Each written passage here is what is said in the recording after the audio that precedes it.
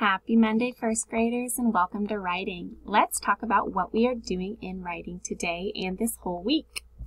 So our cue is we will write a folk tale by working through the writing process so I can understand the elements of folk tales and imaginative stories. So this week we are going to be creative and using our imaginations in our writing. First, for our do, we are going to review what folk tales are, Next, you're going to listen to the folk tale, Why the Sun and the Moon Live in the Sky.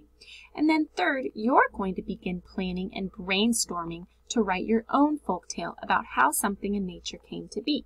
And then we will review what we learned at the end of the lesson. Have a great writing lesson today, and I'm excited to see what you come up with.